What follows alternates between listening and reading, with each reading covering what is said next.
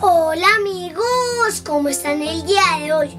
Hoy les tengo un libro fantástico, pero antes quiero que leas conmigo. Entonces activa los subtítulos y lee conmigo. El libro se llama Gucci Gucci. El autor es Chi Yuan Chen.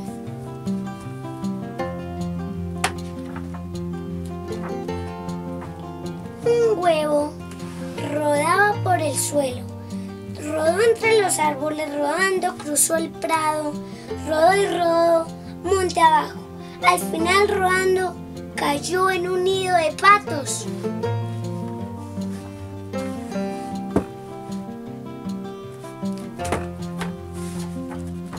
Mamá Pata no se dio cuenta, estaba leyendo.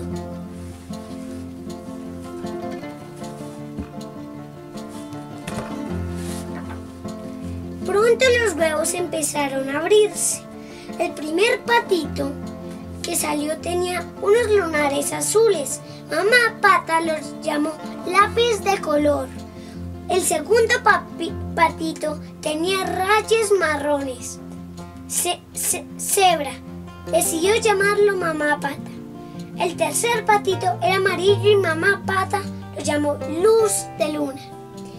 Un patito bastante extraño salió del cuarto, del cuarto huevo, Gucci Gucci, dijo, y desde entonces ese fue su nombre.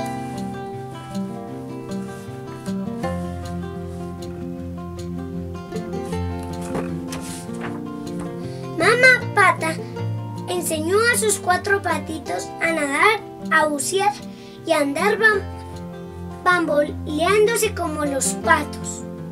Gucci Gucci siempre aprendía antes que los demás. También era el más grande y el más fuerte.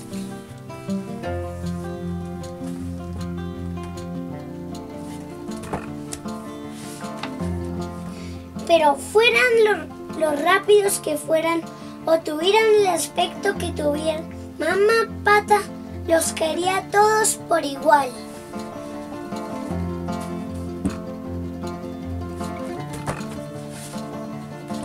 Entonces, un día terrible, tres cocodrilos salieron del lago. Se parecían muchísimo a Gucci Gucci.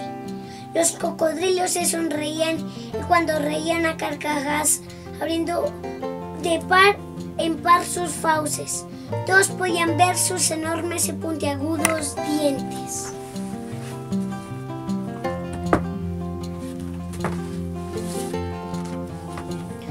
Tres cocodrilos vieron a Gucci Gucci. Sonrieron todavía más. Mira qué cocodrilo tan ridículo. Anda igual que un pato. Gucci Gucci lo soy yo. No ando como un pato, soy un pato. les explicó. Los cocodrilos se rieron. Mírate si no tienes plumas ni pico, ni patas palmeadas. Lo que tienes es una piel gris azulada, garras afiladas dientes puntiagudos el olor de un cocodrilo malo.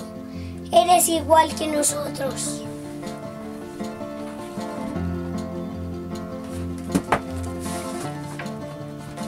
El primer cocodrilo dijo, con tu cuerpo gris a su lado, puedes esconderte bajo el agua sin que te vean. Si puedes acercarte a los rochizos patos tan deliciosos. Segundo cocodrilo dijo, las grandes y afiladas garras te ayudan a sujetar con fuerza a los patos rollizos y deliciosos para que no puedan escapar. El tercer cocodrilo dijo, los dientes puntiagudos los necesitas para masticar los patos rollizos. Deliciosos. Mmm, ñam, ñam. Los tres cocodrilos sonrieron enseñando sus dientes.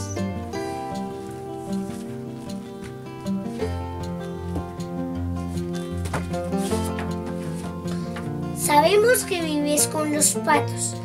Haz que mañana vayan al puente y se lancen al agua. Les esperamos con las bocas abiertas. ¿Por qué iba a hacerlo? Preguntó Cuchi Cuchi. ¿Por qué tendría que obedecer? Porque todos somos cocodrilos y los cocodrilos nos ayudamos. Los cocodrilos malos volvieron a sonreír enseñando los dientes. y desaparecieron entre la maleza.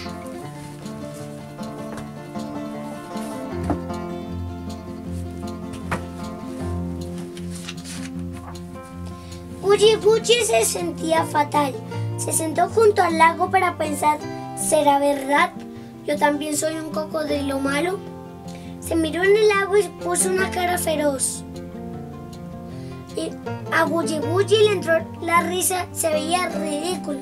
No soy un cocodrilo malo. Desde luego tampoco soy exactamente un pato.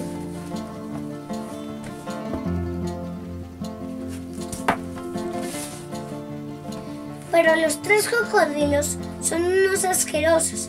Quieren comerse a mi familia. Tengo que pensar en cómo detenerlos. Gucci Gucci pensó y pensó y pensó hasta que al final se le ocurrió una buena idea. Se fue a casa feliz, contento. Aquella noche los tres cocodrilos malos afilaron sus puntiagudos dientes mientras pensaban todo el todo el rato en rollizos y deliciosos patos. Están preparados para el banquete.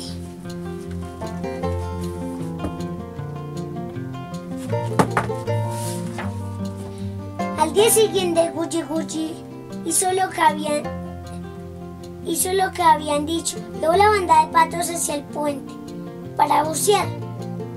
Los tres cocodrilos malos esperaban a los patos bajo el puente.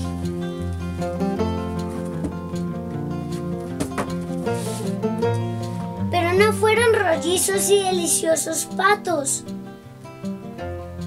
Lo que cayó es del puente, sino tres enormes y duras piedras. Los cocodrilos mordieron crack, crack. Hicieron sus afilados dientes. Los tres cocodrilos malos salieron corriendo y desaparecieron en menos de un minuto.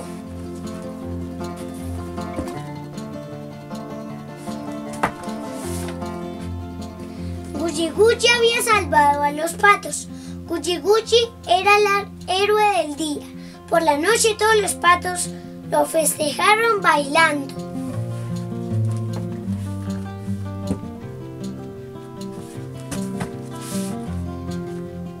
Gucci Gucci siguió viviendo con mamá pata, lápiz de color cebra y luz de luna, y fue convirtiéndose en un cocopato, cada día más fuerte y más feliz.